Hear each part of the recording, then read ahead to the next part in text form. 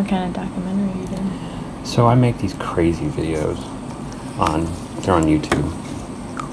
They're they're not crazy. It's just uh, so I'm, I'm going to make this the pivot into a crowdfunded product.